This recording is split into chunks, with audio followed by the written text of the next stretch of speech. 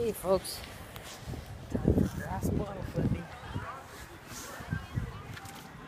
Ah, I did this before. Let's see if I can do it again.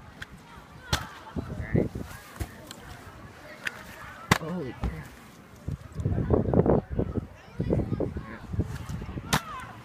It's like this leak in the bottle. Whoa!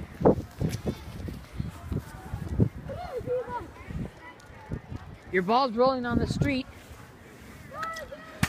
Ah, I did it. Yeah, there you go.